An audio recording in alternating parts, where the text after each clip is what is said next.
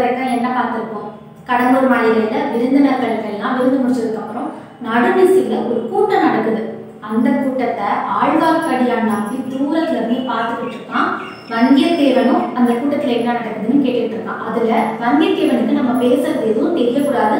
அப்படி தெரிஞ்சா வந்தியத்தேவனை கொண்டுடணும் ஏன்னா இது அரசுரிமையை பத்தி கூட்டம் அப்படின்னு சொல்லவும் வந்தியத்தேவனுக்கு அதிர்ச்சி ஆயிடுது இது வரைக்கும் தான் பார்த்துருக்கோம். இப்ப என்ன பார்க்க போறோம்னா கூட்டத்துல பழுவேட்டரையர் பேச ஆரம்பிக்கிறாரு. அப்போவே வந்தியத்தேவனுக்கு ஒரு யோசனை வருது.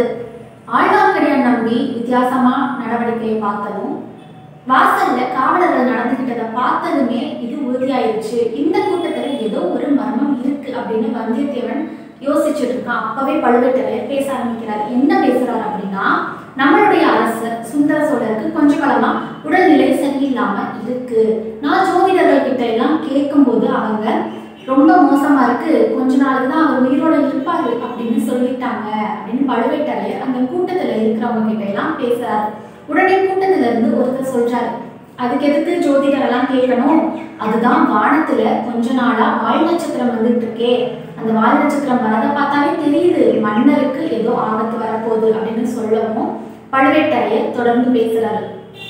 இப்போ மன்னர் அடுத்து மன்னர் சுந்தர சோழருக்கு அடுத்ததா யார் அரசரா பொறுப்பேற்க போறாங்க அப்படின்னு கேட்கவும் கூட்டத்துல இருந்து மறுபடியும் பதில் வருது.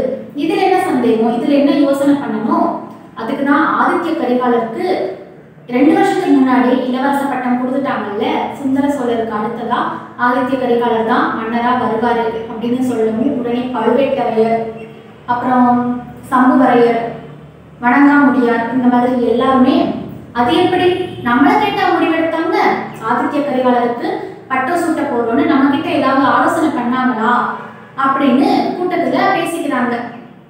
கூச்சலிட்டுக்கிட்டே பேசிட்டு இருக்கும்போது ஒரு சத்தம் கேக்குது. நம்ம கிட்ட கேட்கலனா கூட பெரிய பிராட்டியார் செம்பியன் மாதேவி அவங்க கிட்டையும் இளைய பிராட்டியார் குந்தவை தேவி கிட்டையும் கேட்டுக்கிறாங்க அப்படின்னு சொல்லவும் பழுவேட்டரையர் பெண்களை கேட்டுதான் அப்பனா அரசர் முடிவெடுக்கிறாரா? ஏன் அவர் சொந்தமா முடிவெடுக்க மாட்டாரா? நம்ம கிட்ட ஆலோசனை கேட்க மாட்டாரா? அப்படின்னு கேட்கவும் வணங்காமுடியார் வந்து முன்னாடி வந்து பேசுறாரு. அரசர் மட்டும் சொல்றீங்கல்ல பெண்களை கேட்டு முடிவெடுக்கிறாங்க அப்படின்னு. அப்போ நீங்க பண்றது எனக்கு பிடிக்கல அப்படின்னு சொல்லவும் என்ன பிடிக்கல? நீங்க என்ன கேட்டாலும் நான் பதில் சொல்றீங்க பழுவேட்டரையர் சொல்லவும் நீங்க கொஞ்ச நாளைக்கு முன்னாடி ஒரு கல்யாணம் பண்ணியிருக்கீங்க. ஒரு ஒரு பொண்ணை கல்யாணம் பண்ணியிருக்கிறீங்க.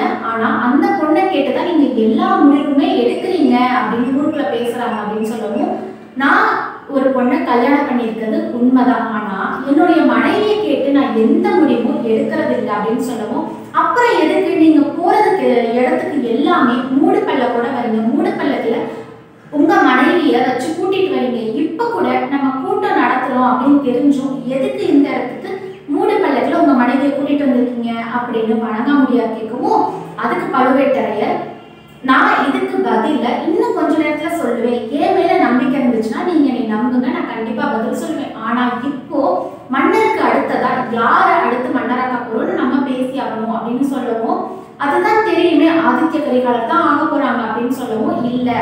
அவருக்கு முன்னாடி மதுராந்தகர் இருக்காரு. முறைப்படி பார்த்தா மதுராந்தகர் தானே அரசராகணும் ஏன்னா ஆதித்ய கரிகாலருடைய சித்தப்பா மதுரா மதுராந்தக சோழர் தானே அவர் தானே முறைப்படி அரசராகணும். அவரை விட்டுட்டு எதுக்காக ஆதித்ய கரிகாலருக்கு இளவரச பட்டம் கொடுத்தாங்க? அடுத்ததா எதுக்கு அவரை அரசராக்குறாங்க? இப்படின்னு பேசிட்டு இருக்கோமே.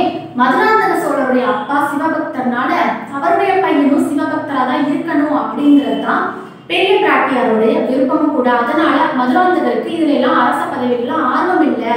அப்படின்னு பேசிட்டு இருந்தாங்க அவருக்கு ஆர்வம் இருக்குதான். அவரு சிவ பாதையில போனாலும் கொஞ்ச நாள்லயே நம்மளுடைய சோழ நாட்டை நம்ம தான் பாதுகாக்கணும் அப்படின்னு அவரு ரொம்ப ஆர்வமா இருக்காரு அப்படின்னு சொல்லவும் சரி அவர் ஆர்வமா இருந்தாங்கன்னா நீங்க எல்லாரும் ஒத்துக்குவீங்களா?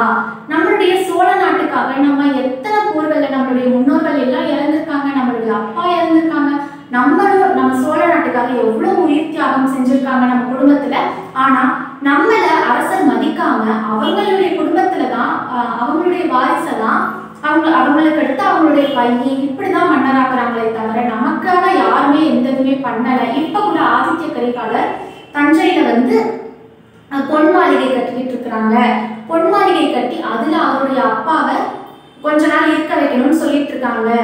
இப்படி எல்லாமே பண்ணிட்டு இருக்கும்போது நம்ம நமக்கு பிடிச்ச மாதிரி அரசரை தேர்ந்தெடுக்கணும் அப்படின்னு பழுவேட்டரையர் பேசிட்டே இருக்காரு. சரி மதுராந்தகர் ஆர்வமா இருக்காரு அப்படின்னா எங்களுக்கு இதுல எல்லாத்துக்கும் விருப்பம்தான். அவர் எப்படி ஒத்துக்குவாரு அப்படின்னு சொல்லுவோம். அவரே ஒத்துக்கிட்டா நீங்க எல்லாரும் கண்டிப்பா அவர் அரசராக்குறீங்க சத்தியம் பண்ணுங்க அப்படின்னு கேட்கவும் எல்லாரும் சத்தியம் பண்ணிடுறாங்க. உடனே பழுவேட்டரையர் போய் அந்த மூடு பள்ளத்துல இருந்து தரைய விளக்கி ஒரு கீழே இறக்குறாங்க. அது யாருன்னு பார்த்தா மதுராந்தக சோழர் தான் ஒரு மூடு பள்ளத்தில் ஒரு பெண்ணு மாதிரி பார்த்தது ஒரு பெண் இல்லை. அது மதுரா மதுராந்தக சோழர் தான் அப்படின்னு ஆழ்வார்க்கடியானுக்கு தெரிஞ்சது வந்தியத்தேவனுக்கு தெரிஞ்சிருந்து எல்லாத்துக்கும் ஒரு ஆச்சரியமா போயிடுச்சு பழுவேட்டரையர் இளவயது ஒரு பெண்ணை கல்யாணம் பண்ணது. அதுக்கு இந்த சமயத்துல ஒரு உதவியா இருக்கு பள்ளத்துல அவருடைய மனைவியை தான் கூட்டிட்டு வராங்க அப்படின்னு எல்லாருக்குமே தெரிஞ்சிருப்பாங்க.